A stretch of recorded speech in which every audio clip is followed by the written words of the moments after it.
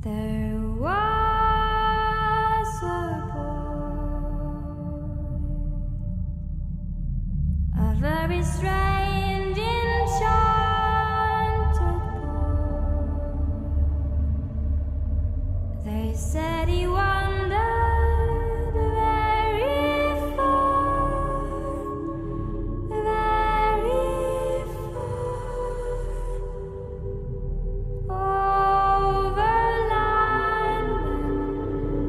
someone who knew the future pointed out a child to you and told you that that child would grow up totally evil, to be a ruthless dictator who would destroy millions of lives, could you then kill that child?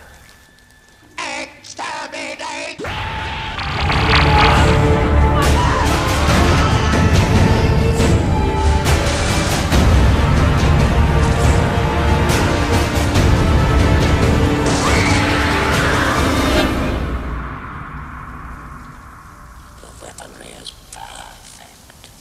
Now we can begin.